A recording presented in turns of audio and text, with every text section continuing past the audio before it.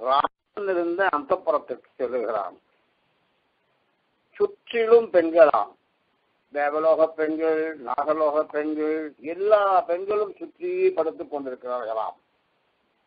தாசாம் மத்தியே மகாபாகு. அவர்கள் இடையிலே பத்து தலை இருபது கரங்களை வைத்துக் கொண்டு பிரம்மாண்டமாக ராவணன் படுத்துக் கொண்டிருக்கிறான். சுசுபே ராட்சசேஸ்வராக வால்மீகி கிண்டல் பண்றார். என்ன அழகா படுத்திருந்தான் தெரியுமா? சுற்றி பெண்கள் நடுவில் படுத்துட்டு இருக்கான். இதுக்கு ஓமானம் சொல்லணுமேன்னு பார்க்கிறார் வால்மீகி. ஒரு பெரிய மந்தயம். நிறைய பசுக்கான் நிறைய பசுக்கள்லாம் படுத்துட்டு இருக்கான். நடுவில் ஒரு பெரிய எருது படுத்துட்டு இருந்தா எப்படி இருக்குமோ அப்படி படுத்துட்டு இருந்தான் அப்படின்னு எழுதுறார். இங்க ராவணனை எருது அப்படின்னு சொல்றார். கோஷ்டே மகதி முக்கியானாம் கவா மத்தியே எத்தா ரிஷகா பசுக்களின் இடையிலே ஒரு பெரிய எருது படுத்துட்டு இருக்க மாதிரி இவன் படுத்துட்டு இருக்கான் அப்படின்னு எழுதினார். ராவணோட எருதுன்னு இவர் சொல்லலாமா? இது ஒரு கேள்வி. வியாக்கியானம் பண்ணா எல்லாம் இருக்கு ஆனா புத்தி இல்லை. புத்தி இல்லைன்னா அவன் மாடான் புத்திஹீனகா பசுஹு. புத்தி இல்லைன்னு சொன்னா பிரயோஜனம் இல்லை. எல்லாம் இருந்தும் மாற்ற மனைவியை தவறாக எண்ணுகின்ற எண்ணம் இருக்கிற வரையில் அவன் மாடுதான் அப்படின்னு வால்மீகியுடைய தாயம் அப்படி எழுதுறார். அடுத்து பார்க்கிறார். சரி இவனை போய் மாடு சொல்லிடுமே அப்படின்னு நினைக்கிறார். அடுத்த நிமிஷம் எப்படி சொல்லலாமே? சுற்றி பெண் யானைகள் படுத்துக் கொண்டிருக்க நடுவிலே ஒரு கம்பீரமான ஆண் யானை படுத்துக் கொண்டிருந்தது. அது போல் இருந்தான் என்று எழுதுகிறான். இப்போ முதல்த்துக்கும் என்னதுக்கு என்ன வித்தியாசம் கேட்டா முதல்த்துக்கு இந்த ரிஷபம் இருக்கு அதுக்கு பசுக்களால் ஆபத்து கிடையாது. ரெண்டாவது யானை இருக்கு இல்லையா ஆண் யானைக்கு ஆபத்து பெண்களால தான் பெண் யானையால தான் அதனால்தான் யானைன்னார். வால்மீகியினுடைய ஸ்லோகங்களை அப்படியே அர்த்தம் பண்ணப்படாது. ரொம்ப அனலைஸ் பண்ணும் அனாலிட்டிக்கல் வே ஆஃப் அப்ரோச் சில பேருக்கு தான் அந்த ஆய்வு மனப்பான்மை தான். எதுனா கதை எல்லாருக்கும் தெரியும். ஏண்டா முதல்ல எருதுன்னு எழுதினார்? என்னால் ஏன் யானைன்னு எழுதினார்? எந்த பெண்களிடத்திலே இவன் அளவுக்கு அதிகமாக ஆகிவிட்டிருக்கிறானோ அந்த பெண் இனத்திலே ஒருத்தி தான் இவளுக்கு யமனாக போகிறாள். அப்படிங்கிறத சொல்லாம சொல்றான் அவன். இப்படி எல்லாத்தையும் பார்த்துட்டு சசதஸ்ய மத்தியே பவனத்யதம் சிதே ஒரு அழகான ஒரு சோலை அது ஒரு மண்டபம். லத கிரக சித்திர கிரகான் நிசா கிரகான் தனித்தனியா வீடு இருக்கான் கொடிகள்லாம் பறந்துருக்கிற ஒரு அழகான இனிமையான ஒரு வீடு. ஒரு வீடு பார்த்தா அதை சுற்றி எங்க பார்த்தாலும் ஓவியங்கள் வரைந்து ரொம்ப அழகா இருக்கிற ஒரு வீடு. இன்னொரு வீடு பார்த்தா இரவிலே தனியாக இருப்பதற்கான ஒரு வீடு. எத்தனை வீடுகள்? இந்த வீடுகள் ஒன்று ஒன்று கோபம் வந்தால் அதுக்கு ஒரு அறை.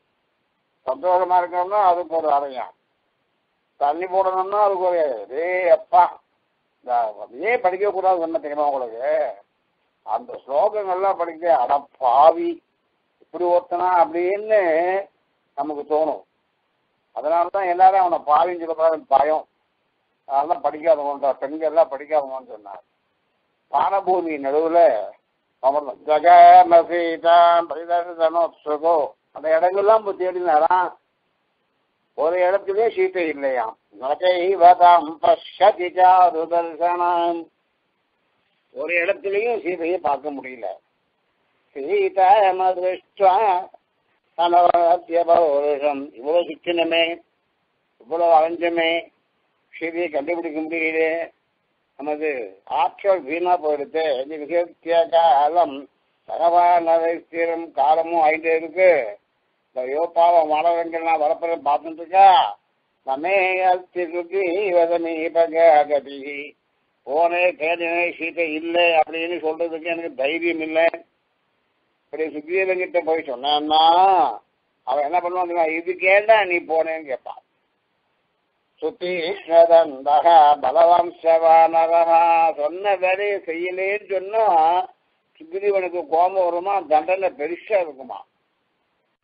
ஆகையினால எப்படி நான் திரும்பி போறது? சிறியை பார்க்க முடியல. ஏதாவது ஒரு காரியம் பண்ணலாம். இங்கே படு தேடி தேடி பார்ப்போம். திருஷ்டமந்த புரஷர்வே திருஷ்டாராவண யோகிதனா எல்லா அந்த புறத்திலையும் பார்த்தேன். ராவணனுக்கு பக்கத்துல நிறைய பெண்களை பார்த்தேன் நான் சீதா திருஷ்யதே சாத்வி. சிதிய காணல இவ்வளோ கஷ்டப்பட்டு தேடியும் சீதையை காண முடியலையே அப்படின்னு வருத்தப்படுறார்.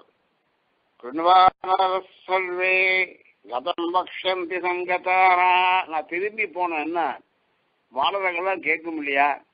இங்கேருந்து போனேடாப்பா. என்ன பண்ணேன் அப்படின்னு கேட்டா அங்க போய் நான் என்ன பதில் சொல்லுவேன்? அப்படின்னு சிந்தனை கத்வா தத்வயா வீரா. கிருதம் அங்கேருந்து ரொம்ப வேகமா போனீங்கப்பா அஞ்சனேயா லங்கையில என்ன பண்ண? ஸ்ருதிய பாத்தியா அப்படின்னு அவ கேட்பா அவ கேட்கவே பதில் சொல்ல முடியாதே நான் என்ன பண்ணுவேன்? சதுரங்குல மாத்திரோபி ஒரு நாலு அங்குலம் இடைவெளி கூட கிடையாது. ஒரு இடம் பாக்கி இல்லாம எல்லா இடமும் தேடினேன் ஆனா சீதை கண்ணில் படல. ராவணாம் தற்புறம் தஸ்மின். ராவனுடைய அந்த புறத்துல ஒரு சின்ன இடம் கூட விடாம எல்லா இடமும் தேடினேன் எம் கபி நஜகாம எங்க போனாலும் போகாத இடம் கிடையாது. எங்கேயும் சீதையெல்லாம் பார்க்கல. அப்படின்னு அது மாத்திரம் இல்லை. எந்தெந்த பெண்கள்லாம் பார்த்தேன்னு ஒரு பட்டியலே கொடுக்குறார். ரூபேண பிரதிமா லோகே. பல வித்யாதராசிரியா வித்யாதர பெண்கள் எல்லாம் அங்கே இருந்தாலாம் அவெல்லாம் கந்தர்வலோகத்தில் இருக்கிறவா. குதிரை நாட்டில் இருக்கிறவா. அழகும் செல்வம் நிறைஞ்சவா அவெல்லாம் இருந்தாளா கிருஷ்ணா ஹனுமதா தத்ர ஹனுமான் அவெல்லாம் பார்த்தலாம் நதுராகவனந்தினி இந்த பெண்களை எல்லாம் பார்த்து அங்கே சீதை இல்லை என்று அங்கிருந்து கிளம்பினார் ஆஞ்சநேயர். அவர் மனசுக்குள்ள ஏகப்பட்ட சிந்தனைகள். என்ன ஆனான்னு தெரியலையே. எங்கேயாவது தொலைஞ்சு போயிட்டாரா? இல்லை இவன் எங்கேயாவது பதுக்கி வச்சிருக்காரா? இல்லை அபகரிச்சிருந்த வரைச்சே கீழே விழுந்து மிருத்தாவா இறந்து பட்டாளா? ஒண்ணுமே தெரியலையே. ராமஸ்ய பிரியபாரியஸ்ய ராமனுடைய தேவியை தேடி பார்த்து என்னால் கண்டுபிடிக்க முடியலையே. நான் இங்கேருந்து போனேன்னா ராமன் கேட்பான் இல்லையா?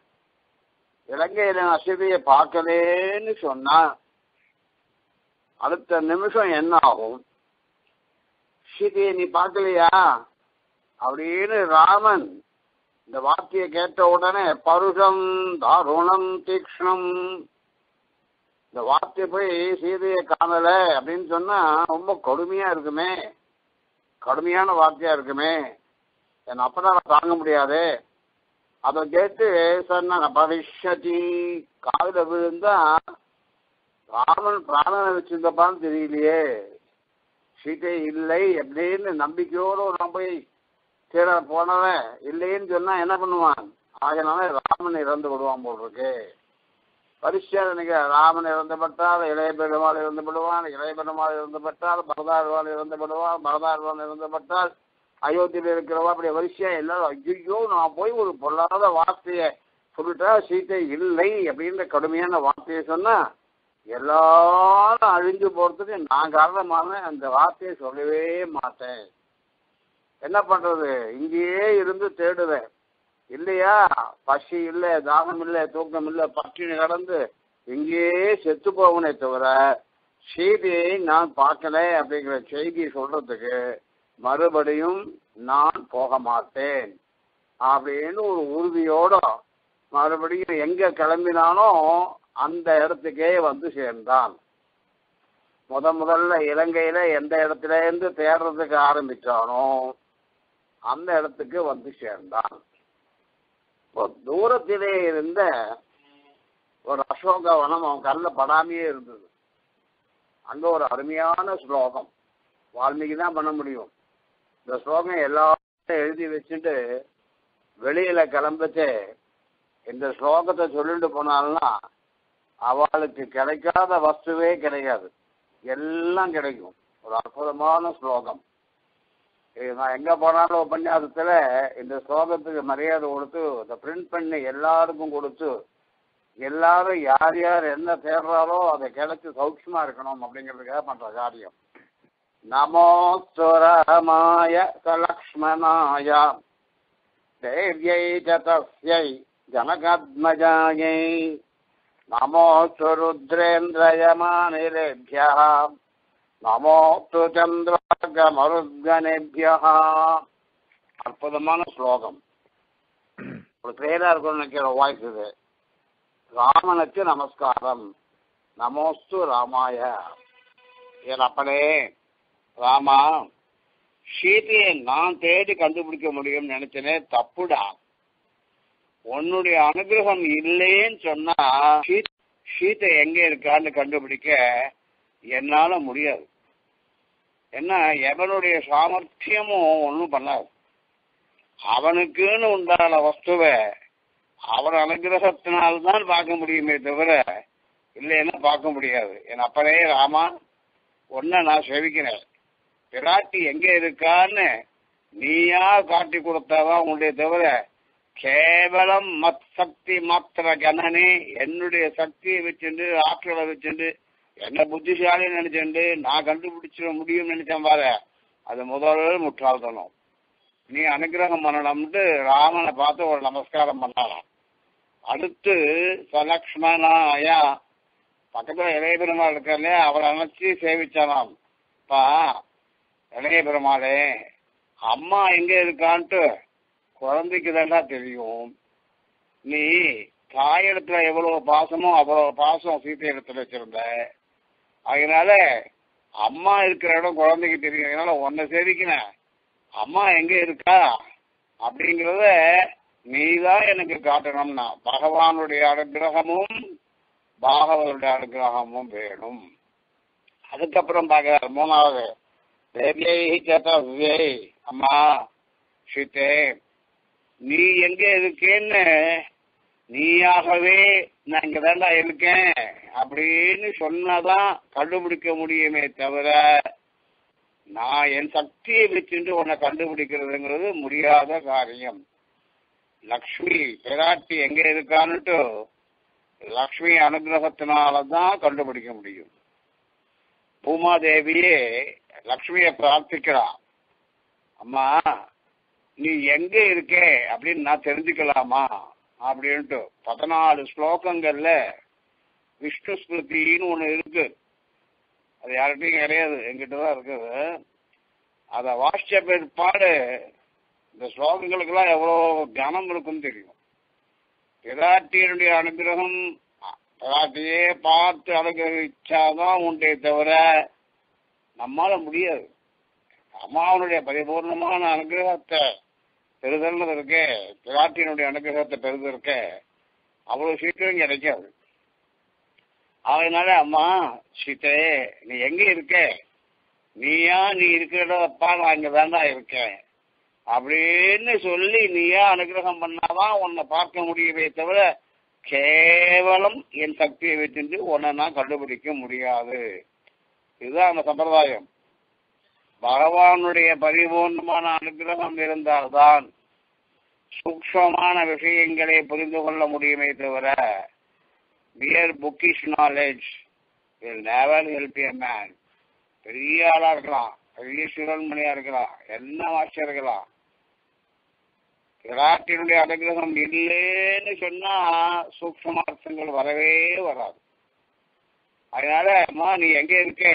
நீயாகவே உன்னை எனக்கு காட்டி அருள வேண்டும். எங்க பெருந்தேவி தாயார நினைக்காம இருக்க முடியாது.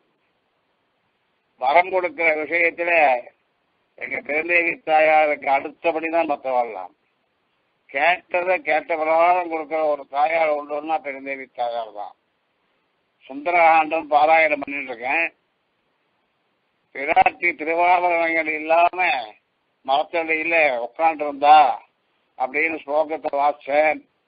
தன்ன ஜலம் வந்துருக்கு. அம்மா எப்படி இருந்த நீ? அப்படின்னு இந்த ஸ்லோகத்தை அப்படியே மூடி வச்சுட்டு கோவிலுக்கு போனேன்.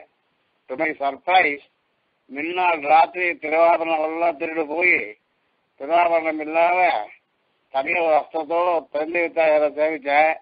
ஒவ்வொன்று அழுத இப்படிதான்டா இருந்தா அன்னைக்கு. அன்னைக்கும் வழியில போட்டுட்டேன் இன்னைக்கே வழியில போட்டுட்டேன்.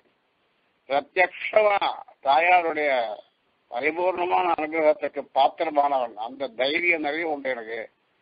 அம்மாவா பார்த்து என் குழந்தை நீ பேசு. என் குழந்தை நீ எழுதுடா. நாற்பது புஸ்தகம் எழுதியிருக்கேன்னு சொன்னா நானா எழுதினேன். கிடையவே கிடையாது. இங்க பெருதேவி தாயாருடைய பரிபூர்ணமான அனுகிரகம் தான். என்ன சாட்சாத் ராமன் தான் வரதன். அப்படி ஒரு உபன்யாசமே பண்ண ஒரு இடத்துல. பெருந்தேவி தாயார் வேற சீத்தை வேற இல்லை. பெருந்தேவி தாயார் தான் சீத்தை. அதில் சீத்தையா பார்த்து நான் இங்கே தான் இருக்கேன் அப்படின்னு சொன்னாதான் என்னால் கண்டுபிடிக்க முடியும். சரி பிராட்டி அனுகிரகம் பண்ணிட்டா. எம்பெருமான் அனுகிரகம் பண்ணிட்டான். பாகவத அனுகிரகம் கிடைச்சி போச்சு.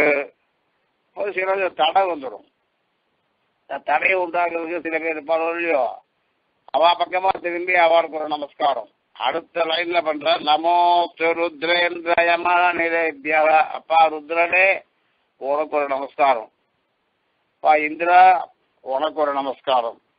பா யமனே உனக்கு ஒரு நமஸ்காரம். ஏ காற்றே உனக்கு ஒரு நமஸ்காரம். இப்படி பஞ்சபூதங்கள் அஷ்ட திக்கஜங்கள் எல்லாத்துக்கும் நமஸ்காரம் பண்ணார். என்ன சுவாமி? சாட்சாத் பகவான் நம்பிக்கை வச்ச பிற்பாடு இத்தனை தெய்வங்களை சேவிக்கலாமா? சேவிச்சுதான் வால்மீகி எழுதியிருக்காரு. ஏன் எழுதிருக்காருன்னு கேட்டா வேற ஒன்றும் இல்லை. இவெல்லாம் குறுக்க நிற்காம இருக்கணுமே அதுக்காக நமஸ்காரம் பண்ணணும். ஏன்னா அவள் நமஸ்காரம் பண்ணாதனால குறுக்க நின்றுட்டான் குறுக்க நிற்பாரார் ஒருத்தர் கேள்வி கேட்டார். ராம பக்தர் ஒருத்தர். எப்போ ராமா ராமா ராமன்னு சொல்லிட்டு இருந்தார். ஒரு நாள் ராத்திரி கண்ணு சீதா லக்ஷ்மண பரத சத்ருக்ன அருண சமேத ராமச்சந்திர பத பிரம்மணே நமஹா. அப்படின்ட்டு ஏ பிரபு உன்னை பார்க்கணும்னு ஆசைப்படுறேன்டா. அனுகிரகம் பண்ண மாட்டியா? அப்படின்னு கதறினார். சக்கர மகன் பார்த்தான். சரி இன்னைக்கு என்ன ஆனாலும் அவனுக்கு காட்சி கொடுத்துட வேண்டியதுதான். அப்படின்ட்டு சீதா லக்ஷ்மண பரத சத்ருக்ன அருண சமேத எதிர வந்து நின்றுட்டாங்க. எதிர வந்து நின்று உடனே இவனுக்கு ஒன்றும் புரியல. கண்களில் தார தாரையா ஜலம் ஓட்டுறது அந்த ஜலம் இருக்க குறுக்க தரையா நின்று எம்பெருமானுடைய திவ்யமங்கல சுரூபம் தெரியாம மறைச்சு விடுறது. அப்ப இந்த பக்தன் அழகான் ஏ பிரபோ ஒன்ன நீ காட்டி கொடுக்கணும்னு நினைச்ச. ஆனா நான் பண்ணிருக்கிற பாவங்கள் எல்லாம் ஒன்னா சேர்ந்து தண்ணீரா வந்து குறுக்க தரைய போட்டு உன்னை பார்க்க முடியாம பண்ணிடுச்சு அப்படின்னுட்டு சதனாலாம் அந்த மாதிரி நாம பண்றதுனாலையாவது எந்த கிரகங்களாவது குறுக்க வந்தா என்ன பண்றது? ஆகையினால என்னுடைய தேவியா இருக்கிற சேமியை நான் கண்டுபிடிக்கணும்னு நினைக்கிறேன். நீங்க எல்லாம் எனக்கு சகாயம் பண்ணணும் அப்படின்ட்டு அவ சேமிச்சார் அப்படின்னு எழுதார் நமோஸ்து ராமாய லக்ஷ்மணாய தேவியை ஜதவ்யை ஜபகத்னஜனாயை நமோஸ்து ருத்ரேந்திரயமானிலேபிய நமோஸ்து அப்படி தியானம் பண்ணிட்டு இந்த சோகத்தை சொல்லிட்டு நிமிந்து பார்க்கிறா அழகான ஒரு பூஞ்சோலை கண்டப்பட்டது. இயம் ஜனனி ரம்யா துஜசங்க இவ்வளவு நாள் என் நல்ல படலையே இந்த பூந்தோட்டம். அழகான சோலை என் நல்ல படமே இது எப்படி இருக்குன்னா நிறைய பறவைகள்லாம் இருக்கு. எல்லாம் கத்திட்டு இருக்கு. இந்த பறவைகள் கத்துற இந்த சோலை ஏன் இத்தனை நாளைக்கு அன்னைக்கு தெரியல.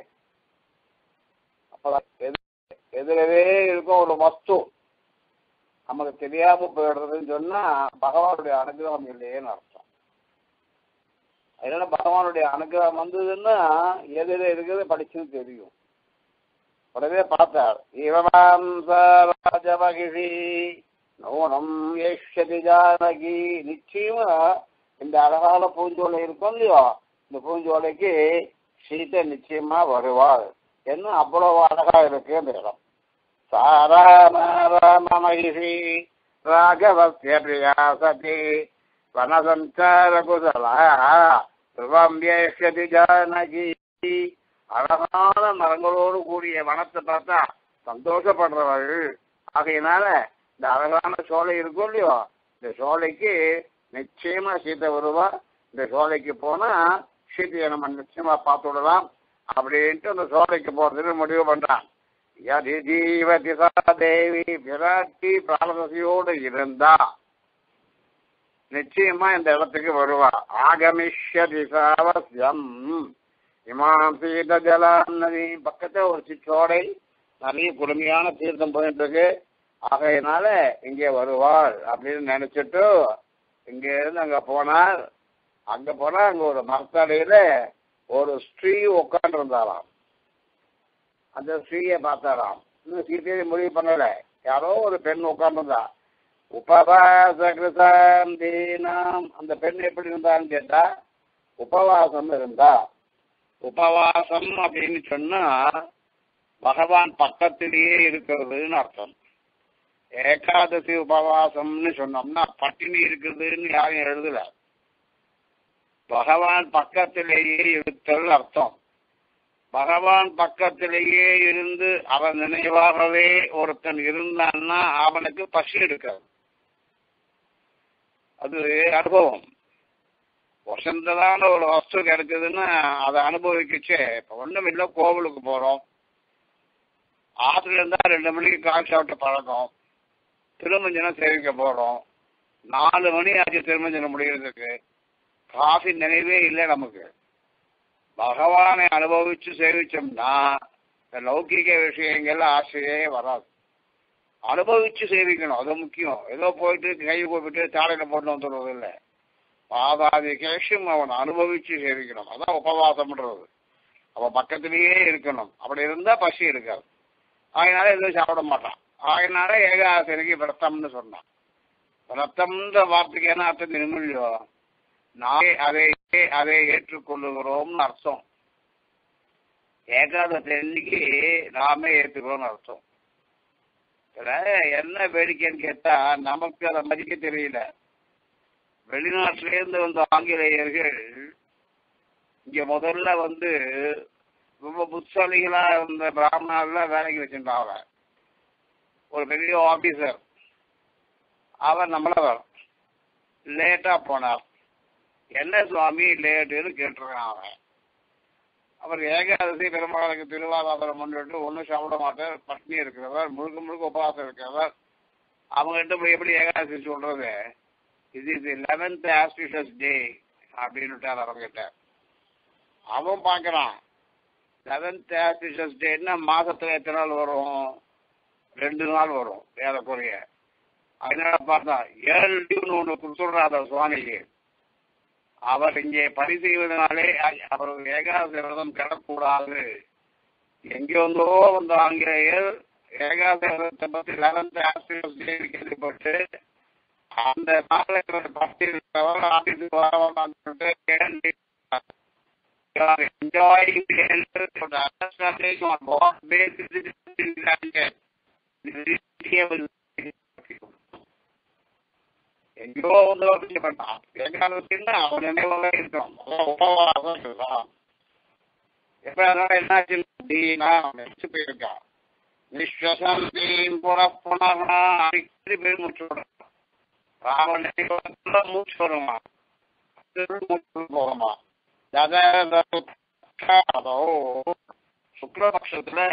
மூன்றாம் தடவை இன்னைக்கு சந்திரன் எப்படி இருப்பாரோ அப்படி கரையிடந்து இருந்தாலாம். சந்திர ரேகை சந்திர ரேகை இருக்கும் ஆனா அது வளர்கிறையில மூணாம் அன்னைக்கு லேசா இருக்கும். இணைச்சு போய் இருக்கும். அந்த மாதிரி இருந்தாலும் கிரகேன அங்காரகேனை வா ரோஹிணி ரோஹிணி நட்சத்திரம் இருக்க இந்த ரோகிணி நட்சத்திரத்துக்கு அங்காரகன் இருக்க செவ்வாய் அவன் ஆகாதவன். ரோகிணி நட்சத்திரம்னு சொன்னால் அவளுக்கு செவ்வாய் தோஷம் இருக்குமா? இந்த செவ்வாய் இருக்கணும் இல்லையோ? ரோஹிணி படாத பாடுபடுத்துவாராம் அதனால தான் ரோகிணி நட்சத்திரக்காரர்கள் அங்காரகனாயிருக்கின்ற பாதிக்கப்படுறதா செவ்வாய் செவ்வாயால் பாதிக்கப்படுவது போல அஸ்ரிபூர்ணமுகீம் அஸ்ரிபூர்ணமுகீம் கண்ண ஜலம் தீனாம் நித்தியம் துக்கபராயணாம் நித்தியம்னா எப்பொழுதும்னு அர்த்தம் தினம்னு அர்த்தம் இல்லை எப்பவும் ஒரே ரொம்பவே கண்ணில் கண்ணீர் வடிஞ்சுட்டே இருக்காம் நினைச்சு பார்க்கலாம் யாருக்கு சுகார்காம் துக்க சந்தப்தாம் நல்ல வசதியோடு இருந்த ஒருத்தர் சுகத்துல இருந்த ஒருத்தர் துன்பத்தை அனுபவிச்சா எப்படி அந்த கவலையே அவளை இழைக்க முடியா பண்ணுமோ அந்த மாதிரி தாம் விலோக்கிய விசாலாட்சி அந்த பெண்ணை பார்த்தாராம் அதிகம் மலினாம் ரொம்ப இழைச்சு போயிருக்க அந்த பெண்ணை பார்த்த உடனே இப்ப முடிவு பண்ற தற்கயா மாச அங்க மந்தோதரியை பார்த்து தற்கயா மாசம் எழுதினாதே வால்மீகி? இங்க மறுபடியும் கொண்டு தற்கயா மாச முடிவு பண்ணான். சீத்தேன்னு முடிவு பண்ணான்.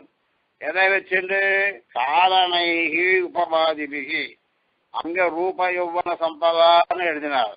இங்கே அவள் இருக்கும் நிலையை பார்த்து காரணங்களை எல்லாம் நன்கு ஆய்ந்து பார்த்து நிச்சயமாக ராமன் நினைவாக இழைத்து போயிருப்பவனாக இருக்க வேண்டும். அப்படின்னு சீதையா இருக்குமோ? அப்படின்னு முடிவு பண்றான் சியமானதேன ரக்ஷத காமரூபினா. இழைச்சு போயிருந்தான் சொன்ன முடியும் அது ஓமான எழுதுறார் வால்மீகி. சம்ஸ்காரே நயதாகி நாம். சம்ஸ்காரம்னு ஒண்ணு உண்டு. பஞ்ச சம்ஸ்காரம்னு சொல்ற முடியும் சம்ஸ்காரம்னா என்ன? நான் எல்லாரையும் கேட்டுட்டேன். சம்ஸ்காரம்னா என்ன? சம்ஸ்காரம் பஞ்ச சம்ஸ்காரம் சம்ஸ்காரம்ன்ற வடமொழி சொல்லுக்கு சரியான தமிழ் தெரியுமா? செம்மைப்படுத்தும் செயல்பாடுகள். செம்மைப்படுத்தும் செயல்பாடுகள். ஆத்மா இருக்கால அவரை செம்மைப்படுத்துவதற்கு வேண்டிய செயல்பாடுகள் அஞ்சு. அந்த அஞ்சு ஆச்சாரியர் பண்றார். அதனால சம்ஸ்காரம்னு பேர். முறையான சம்ஸ்காரம் இல்லாத ஆச்சாரியனிடத்திலே பரிபூர்ணமான விசுவாசம் இல்லாத சம்ஸ்காரத்தை ஒழுங்கா பெறாத ஒருவன் எவ்வளோ புத்திசாலியாக இருந்தாலும் வாசம் அர்த்தாந்தரம் கதான்னு பல விஷயங்கள் அவனுக்கு புரியுறது இல்லை சம்ஸ்காரம் இருக்கு. எல்லாம் இருக்கு. புரியுறது காரணம் என்னன்னா சம்ஸ்காரம் இருந்தும் அதை நடைமுறையில் இல்லை ஆச்சாரிய பக்தி இல்லாத ஒருவன் ஆச்சாரியனத்திலே சம்ஸ்காரம் பண்ணி கொண்டிருந்த போதிலும் கூட அவனுக்கு சூக்மார்த்தங்கள் புரிவதில்லை. சம்ஸ்காரமான பிறகு ஆச்சாரிய பக்தி எவனுக்கு நிறைய இருக்கிறதோ அவன்தான் ஸ்ரீமத் ராமாயணத்தின் சூக்மார்த்தங்களை புரிந்து கொள்ள முடியுமே தவிர மற்றவர்கள் புரிந்து கொள்ள முடியாது. அதனால பஞ்சசம்ஸ்காரங்கள் ஒழுங்காக இருந்தும் அவற்றை நடைமுறையிலே வைத்துக் கொள்ளாத ஒருவனது வாக்கு எப்படி இழைத்து போயிருக்குமோ அப்படி இழைத்து போயிருந்தால் தாம் சமேக்ஷ விசாலாட்சி ராஜபுத்திரி மணிந்திதாம் குறையே சொல்ல முடியாத அந்த பெண்ணை பார்த்தார். அந்த பெண்ணை பார்த்த உடனே சீதை என்று முடிவு செய்தவர் நெஞ்சிலே சில எண்ணங்கள் தோன்றின. அந்த எண்ணங்கள் என்ன? காலையில் பார்க்கிறோம்.